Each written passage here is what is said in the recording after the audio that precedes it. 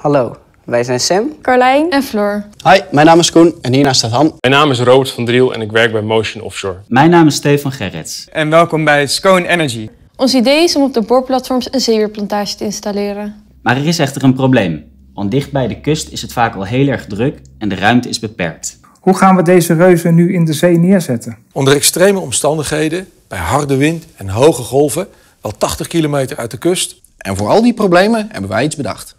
Wij hebben namelijk de Helping Hand bedacht. Energieopwekker 299. De S8800. De Sconebox, helemaal volgestopt met batterijen. Drijvende havens vraag je af? Ja, drijvende havens. Nou, vinden jullie dit nu ook het beste idee voor de Noordzee? Stem dan op TNO. Stem op ons. Stem op ons. Stem dan op mij. Stem dan op Scone Energy. En dank je wel alvast. Doei!